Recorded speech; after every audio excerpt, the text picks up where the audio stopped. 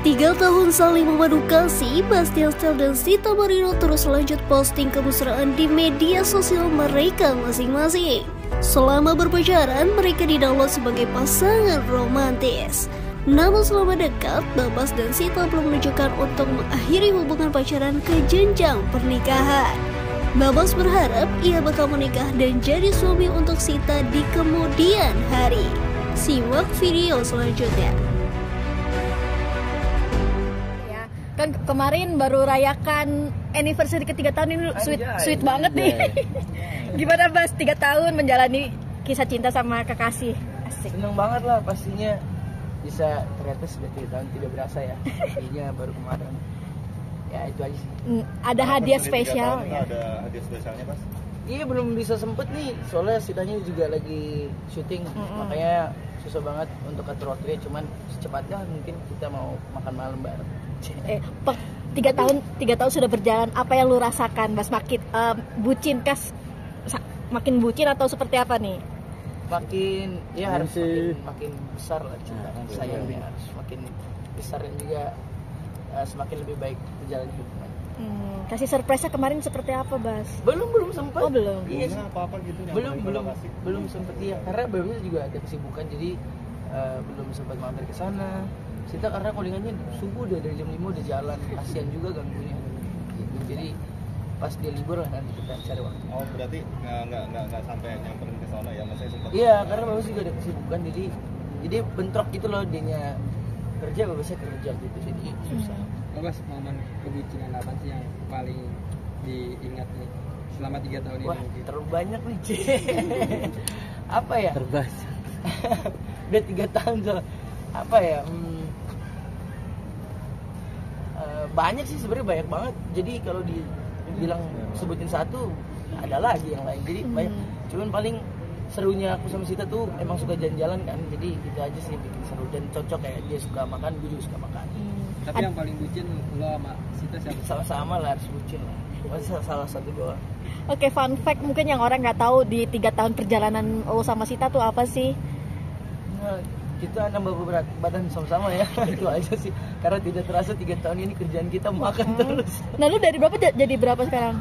10 kilo ada dari dari 55 sekarang 65 kalau Sita nggak tahu deh gua. Cuman ya Sita juga bilang naik. Terus bilang kayak nggak usah pikirin saat aja. Emang yang hobi makan lu atau berduanya memang hobi makan sih, Bas? kalau gua eh, Sita suka suka doyan cobain makanan yang baru gitu. Kalau gue emang suka makan gitu. Jadi kalau ditanya akhirnya cocok? Ya cocok Hmm. karena itu akhirnya kita cobain cari yang viral dikit apa mau makanan pinggir jalan kita samperin kita makan atau Hmm. mau yang kayak bener-bener yang proper juga makan. Apa aja kita coba gitu. Kayak liburan keluar kota cari lagi yang pinggirannya cari lagi yang propernya. Pokoknya coba-coba semuanya. Makanya eh, happy pedes sama- apa enggak tuh? pedas pedas sukanya pedas harus Oh, pedas harus justru iya. Selama tiga tahun bareng, eh, yang yang paling gak terlupakan kejadian? Yang paling gak terlupakan sama Sita kejadian apa sih? Selama waktu jalan-jalan gue rame-rame sama temen-temen juga jalan-jalan kita ke Thailand. Terus kan di Thailand tuh ada makanan-makanan yang Aneh-aneh. aneh-aneh ya serangga apa. Dimakan loh sama dia gue bilang emang beneran tukang doyan coba semua dia nih. Gue sih nggak makan ya era seafood kan gak bisa makan seafood udang mentah dia makan sama dia. Itu live gue yang biasa ngeliat cuma di aplikasi itu ya. Tiba-tiba lihat langsung real life cewek gue sendiri lagi yang makan sampai cumi-cumi mentah gitu kayak emang enak? Terus dia dengan pasti iya enak banget deh eh enaknya di mana? Itu gak bakal gue lupain sih sumpah. Berarti itu emang kuliner yang Ekstrim. paling ekstrim gitu. menurut gue itu ekstrim banget lah gila. Dan dia tuh nggak takut maksudnya emang kepo mau cobain apa sih rasanya. Ditanya sama dia kayak rasanya apa? Gurih. Oke coba bener gurih nggak ya? Oh iya beneran gurih loh enak enak enak. Rasanya apa? Agak asin. Cobain sama dia yang udah lompat lompat itu tuh. Oh iya asin lebih enak enak. Wah wah ngaco. Gue ngaco emang suka semua dimakan sama dia Oke. Tiga tahun ini sosok Sita seperti apa sih di mata Ada perubahan nggak, Bas? Ada perubahan nggak? banyak banyak banget lebih ke gua sih sebenarnya banyak banget perubahan yang yang eh, apa dikasih karena sudah jalan sama Sita karena gue jadi lebih lebih lebih baik lagi yang tukang begadang jadi agak berkurang Hmm. terus juga eh, apa ya terlambatnya sih terlambatnya atur waktunya jadi lebih baik lagi gitu karena Sita gak bisa banget telat dia Oh, on time banget. iya Nyalur berarti secara nggak langsung ketularan Hmm, diomelinnya Jadi, Sering berarti ya, dia sering. Sering ngomelin Bos. Ya gue pacar pertama kali PDKT aja telat 2 jam serius, ini Serius, pertama serius. kali banget ketemu Sita Hmm. janjian jam 7 gue nyampe jam 9 bilang maaf ya Terus dia ngomelnya Dia gimana? loh. Dia ngomelnya gimana tuh? belum kan baru ketemu Oh, baru ketemu. awal pertama ketemu masih kayak nggak apa-apa dan senyum terpaksanya dia itu mulai jalanin tiga bulan empat bulan kira jadian Hmm. telat baru setengah jam aja aku pulang Mas, maaf mungkin ini hubungan terlama lo kan sih? Kalau iya iya bisa dibilang ini terlama gue sang iya ini ini terlama terlama gue ya emang yang gue bilang waktu itu dari dulu emang tujuannya emang udah sama-sama belajar untuk eh, menuju serius. Hmm. ya doain lah.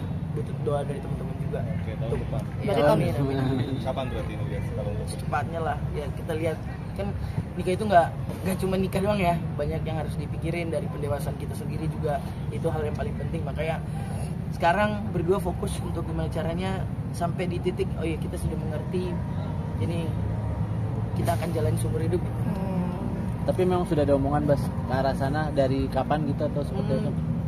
Dari awal jadian sih gua kayak setengah tahun pertama gue langsung to the point kayak ini tujuannya ke mana kalau mau serius sih belajar sama-sama gitu. Hmm. akhirnya dia bilang iyalah ngapain pacaran buang waktu lebih baik kalau kita bisa jalanin pacaran ini sekalian belajar untuk menuju ke jenjang yang serius kenapa enggak gitu Berarti komit ini kan di jalan dua setengah tahun nih Bas. Apalagi tahun. eh oh, kan maksudnya setengah tahun pertama. oh iya Ya dua setengah tahun. Maksudnya apalagi yang ditunggu sih Bas kalau kalau boleh tahu Bas? Apalagi Ya apalagi yang Kesiapan apa? Kesiapan apa? ya, dewasa dalam menjalin hubungan eh, dewasa dalam mengerti apa sih itu arti berkeluarga bersama-sama Eh, dari sisi finansial juga kita harus belajar Nah, secara konflik eh, kalian berdua juga udah bisa menyelesaikan ini bro bro bro bro Aduh, aduh, aduh. kan sekarang Apa celebrity gitu. match nih ntar gue sama Sita boxing. Enggak, eh, ya kalau konflik ada aja cuman ya itu bedanya kalau dulu ada ngambeknya gitu masalah yang masalah itu bisa kayak tiga hari baru kelar yang satunya nggak mau balas masih ada lah kayak gitu kayak gitunya kan. Tapi setelah udah dua tahun ini dan bahkan udah tiga tahun nih sekarang masalah tuh eh, ya akhirnya udah mulai karena udah belajar jadi selesainya udah cepat gitu. Ya langsung kayak gue yang ngelakuin salah gitu. Ya udah nggak perlu dipanjang-panjangin Sitanya juga nggak panjang-panjangin ya udah langsung dikelarin gitu. Sita eh, ya komunikasinya jadi lebih lebih bagus lah. Dan Hmm. kita juga berdua udah menjauhkan hal-hal yang apa yang dia tidak suka apa yang gue nggak suka kita hindari gitu. Salah satu contohnya apa yang sudah lu hindari mungkin apa oh yang dia nggak suka itu kayak terlambat gue coba untuk Sifat ya. sifat si- sifat sika- eh, sikap situ kalau sifat ya kayak gue kadang suka suka tantrum ya enggak kayak Tantrum. banget canda kayak suka tiba-tiba eh, kalau lagi bete sama kerjaan gitu kenanya ke semua gitu Hmm. kayak ke sekeliling gue kena gitu. Apalagi Sita yang pastinya ada di sebelah gue gitu. Nah itu juga yang gue rubah. Kayak marahnya bukan gue marahin gitu bukan. Yang kayak tiba-tiba jawabnya cuek apa. Padahal gue yang kayak masih karena yang habis habis ada sesuatu lah di kerjaan atau apa. Nah, Ego ya aja? ego ego. Hmm. jadi di situ secara eh, secara nggak langsung pasangan sebagai Ya, gila gue so, so, ya. paling pro dalam hubungan deh. Enggak ini apa gue cerita apa yang gue jalanin ya? Iya, iya, iya. bukan gue menggurui sorry sorry. Tapi secara nggak langsung pasangan juga bisa menjadi teman eh, sharing ya. Secara nggak langsung ya kayak lo kerjaan apa apa sekarang ya, Wah apa sharing harus banget. Ya sama Sita kita. juga.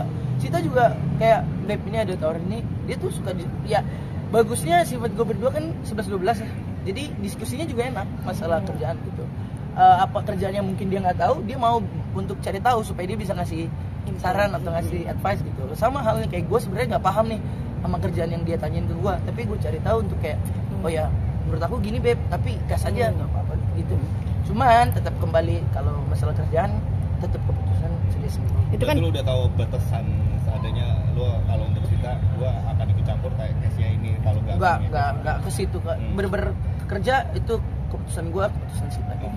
itu kan dan saling support dari kalian berdua dari sisi keluarga orang tua so far gimana tiga tahun perjalanan lo dengan Sita sendiri Ya, ada happy. bisik-bisik Kalau dari dari keluarga gua sih happy banget karena Sita anaknya baik gitu. jadi siapa sih orang tua yang nggak seneng uh, punya an- apa anaknya punya pasangan yang baik gitu dari keluarga Sita sendiri juga welcome gua jadi happy banget ya ya kalau ditanya udah 24 ya umurnya itu apalagi sih gitu kan sebenarnya tujuannya ke mana sih ya Hmm. paling ya, sini kalau gue juga pengen main sama anak gue cah Udah ada sindiran belum dari apalagi keluarga banget sih gua, keluarga aduh. Sita ya, kakak-kakaknya. Nah, Nah, Udah ada sindiran belum? kaya ya Bastian Apa? Ada Dari sindiran dari orang tua atau dari orang tuanya Sita? atau Gitu. kakak-kakaknya sih yang justru orang tua gue sama Sita santai sih nggak nggak ngebus nggak kayak kapan nih kapan nggak kayak gitu ya. Udah kalau kalian happy jalan jangan Kakak-kakaknya Itu Sita? kebut- lebih ke mereka tuh itu enaknya musyawarah. Kayak keluarga gue tuh musyawarah orang tuanya Sita juga. Jadi kayak apa yang lu jalanin jalanin. Terserah kalian. Yang penting masih di dalam batas wajar dan garis aturan kami ya. Mbak Putri dan Ciko kayak gimana responnya? Nah. lihat udah tiga tahun? Happy lah happy. Lihat lihat. Maksudnya Sita juga happy kan gitu. Kayak ya semoga gue harus ya harus harus selalu buat Sita happy sih. ada ada ada dinner spesial nggak nih biasanya? Kan katanya dia belum libur. nih. iya kayaknya dia libur. Kita mau dinner yang ancur-ancuran nih wah Waduh. ancur-ancuran Iya, Enggak lah. gitu. celebrate lah pasti segimana pun caranya kita memanfaatkan, memanfaatkan waktu supaya tetap harmonis. Jangan terlalu cuek nanti diambil orang. Ke mana sih mungkin udah ada pikiran gitu. Belum belum ada kepikiran. Ya nanti ini kayaknya mau sempetin untuk uh, kapan besok mungkin sempet untuk ngobrol mau mau dinner di mana. Karena gue berdua gitu nggak mau. Kalau surprise itu cukup kayak kasih bunga oke surprise gak apa-apa. Atau hadiah surprise apa tapi kalau tempat gak bisa. Harus diskusi. Diskusi ya. Daripada berantem. pernah soalnya gue di Bali chat gue udah booking. Tempatnya susah banget nih dapat nih reservasinya nih. Kok di sini sih makan "Hmm, nggak ada bersyukurnya ya atur Sita gitu tipe jadi oh gue udah tahu berarti harus diskusi. Nggak bisa sok-sok gue kasih surprise di tempat nih gua sweet padahal udah sweet ya. iya gitu. Harus- jadi harus. diskusi kalau tempat makan harus diskusi. Kecuali kalau kasih hadiah atau bunga itu harus. Tapi kalau lu tanya tadi mau ngasih hadiah? Dia masih bingung ya. Karena yang kemarin kan ngasih cincin berarti kan harus upgrade. Dicek rekening dulu. Bercanda bercanda. Dia diaman gitu diaman diaman gitu mungkin upgrade ya gitu. itu udah udah tahun kemarin kan itu ya yang berkilap mengkilap ya. Gitu. emang bagus sih bagus. gitu. geseknya berat. Banget ya doain aja lah pokoknya. Tapi anaknya sih tuh nggak nggak suka nggak suka yang kayak gitu kayak gitu. Jadi dia lebih suka yang quality time gua kasih surat gitu dia suka oke? Oke, thank you mas. Mas.